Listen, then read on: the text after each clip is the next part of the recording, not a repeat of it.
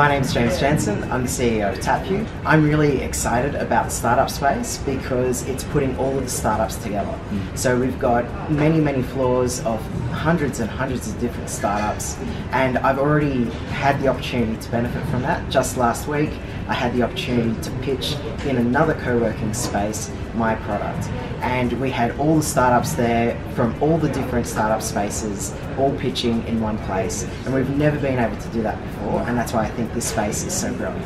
And do you, I mean, do you think this is getting global attention? Yes, it's absolutely getting global attention. Um, some of the news that broke this morning was that one of the next summit is going to be Microsoft.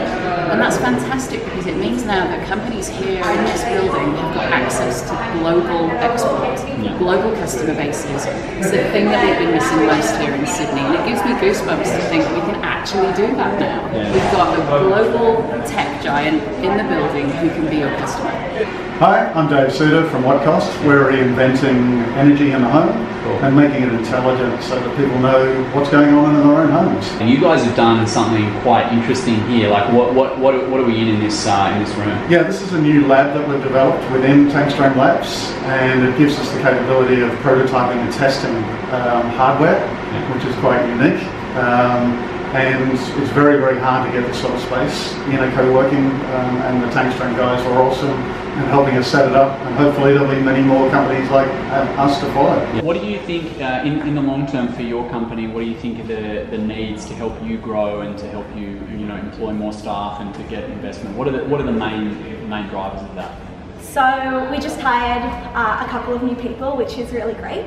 Um, but because of the nature of our model, we have independent contractors who provide um, companionship and non-medical services uh, to people with disabilities and people um, who are elderly, ill or injured.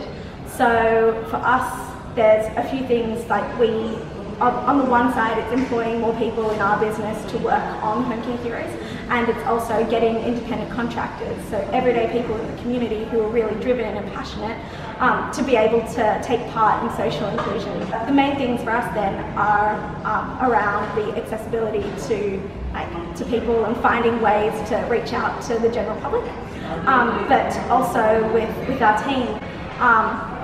Being an early stage startup means, who, who's also bootstrapped, means that we're relying off our growth um, so anything to do with um, early stage grants have been would, would be really useful. Um, and I guess one thing is knowing about them, which is really great about the community. For you is different now that Startup Hub has launched. It's new, but what is what, what's the difference that you're sensing already? I think it's just a focal point for an ecosystem. Right? There's always been bubbles. Fishburners and 608 Harris Street was a bit of a bubble. You had Stone and Chalk being built, you had Tankstream being built. I think that's uh, getting them together and actually in the same building provides that critical mass, increases the surface area of local founders coming from regional, international. I think it can only be a good thing. Awesome. Thanks, mate.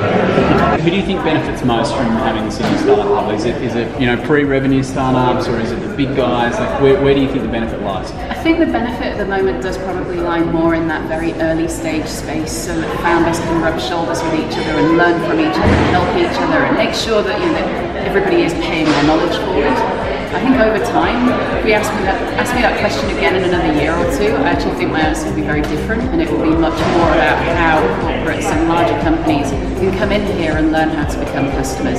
And that, for me, is the thing that I know we desperately need. That's awesome. Thanks very much. Pleasure.